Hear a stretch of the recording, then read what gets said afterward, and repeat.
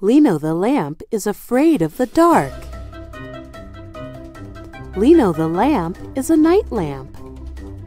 Every night, Lino dreads the moment he is switched off, just when Mrs. Lee is about to sleep. He is a lamp, after all, and is not used to being in the dark. Ali Alarm Clock needs to hold Lino down as he gets on the verge of a panic attack.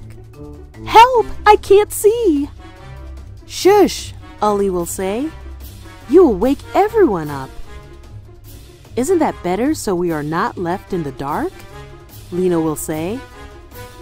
Lino the lamp is afraid of the dark. There are lots of horrible things that could happen. Maybe there will be a big tiger that will jump from behind and scratch him to shreds. Maybe there will be monsters that will sneak up from underneath and eat him alive. Maybe there will be vampire bats that will come down from the ceiling and attack him. Or even worse, there may be aliens that will kidnap him and use his parts for their spaceship. It is not hard to conclude that these thoughts keep Lino awake all night. He barely sleeps night after night and is always very tired.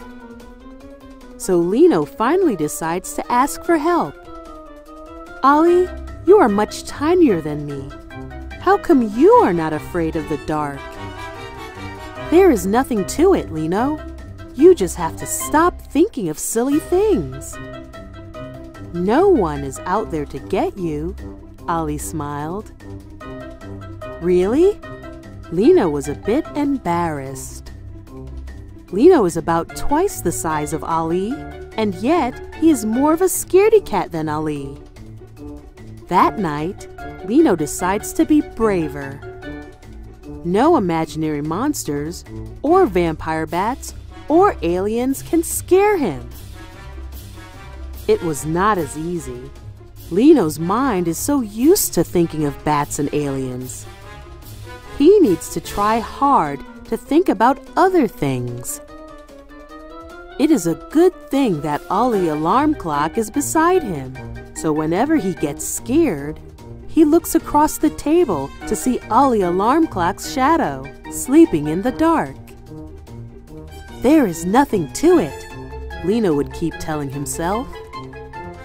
Night after night, Lino tries to be a little bit braver until one day he discovers that his fear of the dark just went away.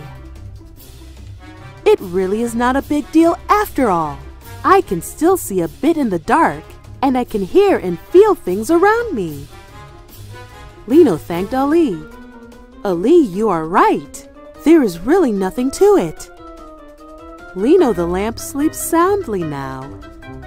The dark is really not a big deal.